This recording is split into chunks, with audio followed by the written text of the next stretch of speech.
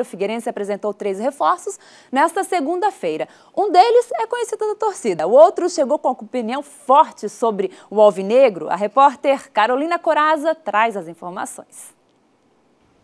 Figueirense apresentou três novos reforços: o goleiro Neto Volpe, o volante Betinho e o meio-atacante Gustavo Ferrarez. Volpe é um nome conhecido do torcedor alvinegro e ele quer fazer história igual o Thiago. Seguir a linhagem da família, né? É, espero deixar um, uma boa imagem aqui, como meu primo deixou. Deixar que o sobrenome Volpe aí sempre fique bem, bem servido de goleiro. O volante Betinho é jovem e um pouco tímido, mas pelo que prometeu, a postura em campo será diferente da que teve diante das câmeras. Muita vontade e determinação, então pode esperar muito isso de mim.